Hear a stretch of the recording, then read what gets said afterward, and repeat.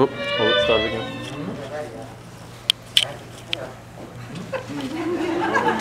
Folks Ocean Daisy, big round of applause for Rose and Martin. Here we go.